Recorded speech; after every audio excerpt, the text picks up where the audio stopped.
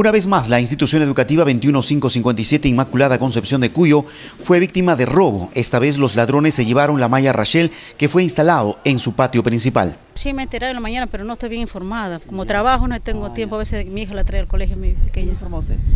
Ah, una madre familia también estuvo comentando. Ya. Sí, pero me parece medio extraño porque si hubieran querido robar de verdad, no... Hay, tenemos tantas cosas de valor, no creo que solamente por un toldo, ¿no? No me parece... No ¿Qué piensan ustedes como madre? No sé, que habría que habría yo que investigar bien a, lo del servicio, pues, ¿no? Porque o sería un aviso, ante todo sería un aviso que nos están avisando de que nos están probando para robar, porque tenemos muchas cosas de valor acá. También pues ese punto. ¿Pero el colegio tiene seguridad? ¿Hay personal o no? Tiene, pues. Por se tiene que investigar, ¿no? Porque como son nuevos también nosotros no lo conocemos. ¿Eso lo han instalado ustedes, dicen como padres? Sí, fue para, para la ceremonia de, la, Día de la Madre. Ah, sí, y ahí quedó. Intentamos entrevistar a la directora del plantel, sin embargo se justificó indicándonos que el hecho ya había comunicado a las autoridades correspondientes. Sin embargo, los que sí hablaron fueron los padres de familia. Nosotros hemos ido a la región para que nos dé tolda para nuestros niños. Mira cómo está la calor acá. Y entonces, entonces se han visto agarrar una tolda que han comprado los de inicial ya han hecho y han cosido, le han puesto toda la tolda. Nosotros, nuestra queja es que no hay seguridad. La, señora de guardiana viene a las 10 de la noche y se va a las 6 de la mañana.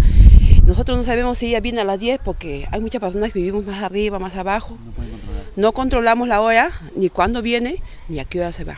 Según me dicen que la señora ha informado eh, a las 6 de la mañana. Se, supone que ella ha venido a las 10 de la noche, tiene teléfono para llamar a la directora, ¿no? a, informarle de robo. Y por eso, eso que al otro día el informe, tiene, ahí mismo se informa las cosas.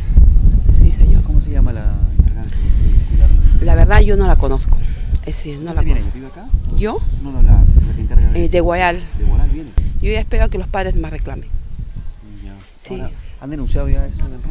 La, me parece que la directora este, a este, para que constaten si del robo. Yo solamente eso me he enterado. Dios van a, imagino, pues buscar alguna investigación, ¿no? Entre los padres, del para ver qué se hace. El asunto es que la directora lo está manejando internamente. Se supone que ella como directora tiene que llamar, convocar una reunión y decir a los padres lo que está pasando y lo que se debe hacer. Prácticamente nosotros mm, nos tienen aislados. Cualquier cosa, no, nosotros prácticamente no, no podemos reclamar nada.